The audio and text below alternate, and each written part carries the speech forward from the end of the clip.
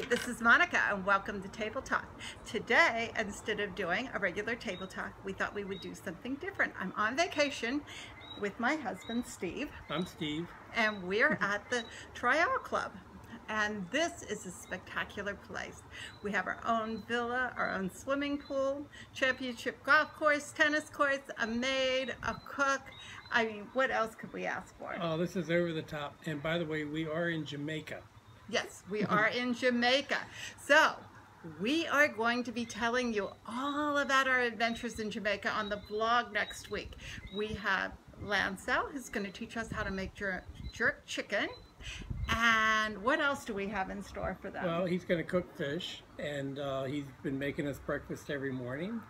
And it's just been over the top, and the weather's been over the top beautiful.